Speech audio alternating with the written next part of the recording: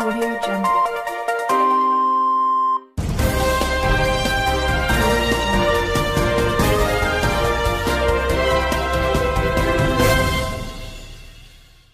evening, everybody. I'm Elsa Ramon. And I'm Peter Dowd. An Uber driver has been arrested and charged with sexually assaulting a female passenger, and police think there may be more victims. CBS 2's Adrianna Weingold has the details of the case and the response from Uber.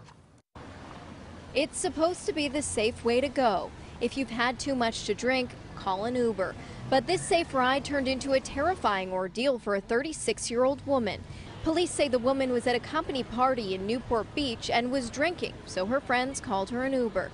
They say she fell asleep on the ride home to Santa Ana. She woke up being sexually assaulted.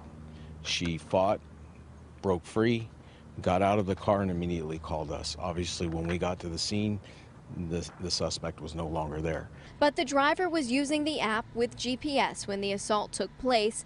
Police arrested 37 year old Angel Sanchez from Costa Mesa. He's being held on $100,000 bail. They say he'd been driving for Uber for about a year. Uber says Sanchez passed a background check. They say they have a zero tolerance policy for any sexual conduct. Uber released this statement saying, what the rider has reported to police is deeply troubling and will not be tolerated. The driver has been banned from the app. We will continue to support police with their investigation.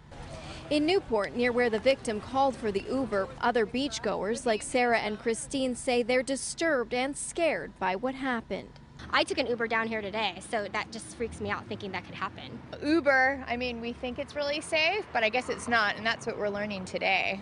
Police say if you don't feel safe, you can always call for a different driver. And if you're really concerned, don't ride alone. Police say there could be additional victims. If you have any information, you are asked to please call Santa Ana Police. In Newport Beach, Adrianna Weingold, CBS 2 News.